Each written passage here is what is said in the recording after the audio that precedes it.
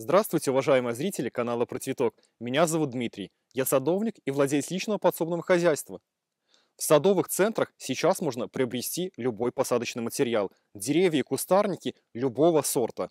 Однако такие саженцы не всегда радуют урожаем, особенно саженцы груши и яблони. Они часто болеют, поражаются различными вредителями, а также имеют низкую морозостойкость, и вследствие чего погибают через несколько лет. Получается, вы покупаете саженцы, впустую тратите деньги, а через несколько лет их выбрасываете. И сада у вас толком как не было, так и нет. Сегодня же я хочу рассказать о том, как вырастить самостоятельно саженцы, которые будут устойчивы к различным неблагоприятным факторам.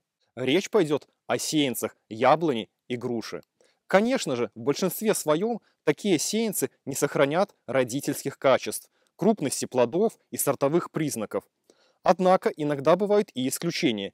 Если у вас из семечки вырос сеянец с крупным листом, листья опушенные, побеги опушенные и на стволах, на ветвях нету шипов, то наверняка у вас сеянец сохранил родительские сортовые свойства, а значит и плоды на нем будут качественные, вкусные, сладкие и крупные.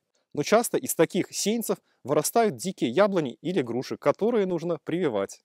У диких сеянцев, как правило, темный и мелкий лист. На стволах и на ветвях имеются шипы. И такие сеянцы не стоит также выбрасывать. Их можно привить и получить собственный устойчивый к морозам, к болезням и к вредителям саженец. Весной на такие сеянцы можно привить сортовые черенки от тех деревьев, плоды которых вам нравятся. Лучше всего использовать черенки для прививки от местных морозостойких э, сортов яблонь либо груш. Тогда ваши новые деревья будут также морозостойкими, э, хорошо расти и плодоносить в ваших условиях. Чтобы сеянцы были сильными, не болели и не подвергались морозам, то и семена для выращивания сеянцев нужно брать от стойких растений.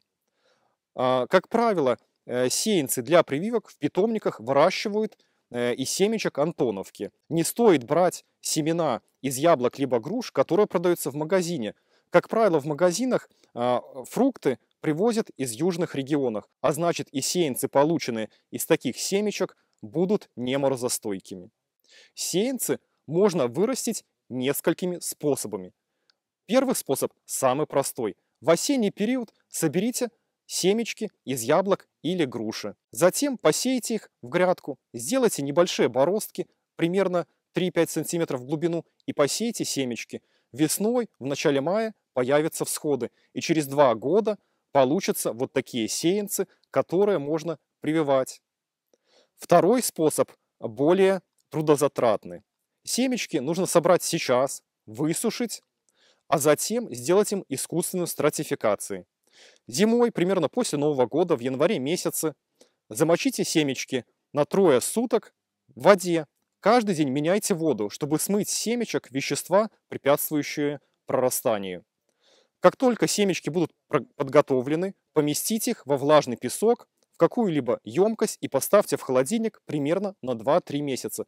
За 2-3 месяца они пройдут а, искусственную стратификацию, Э, появятся корешки, и их можно высадить в отдельные емкости.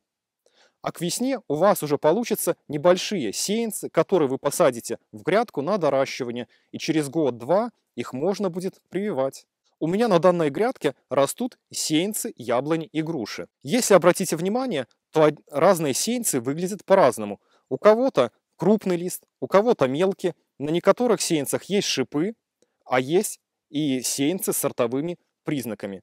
Вот, например, перед вами сеянец груши, который я привил весной. И посмотрите, за лето какой прирост. Примерно полтора метра высоты получился уже готовый саженец груши сортовой, который можно пересадить на постоянное место. Кстати, для тех, кто еще не умеет прививать э, деревья, впереди зима, а значит можно потренироваться в прививках.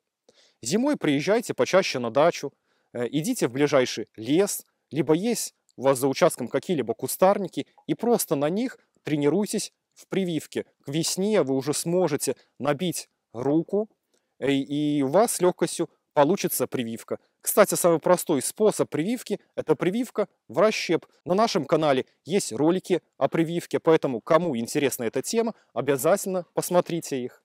Попробуйте вырастить самостоятельно сеянцы, яблони или груши, самостоятельно привить их, и у вас получится здоровый, долговечный сад, плоды которого будут радовать не только вас, но и ваших внуков. Спасибо за лайки и подписку. До новых встреч! thank you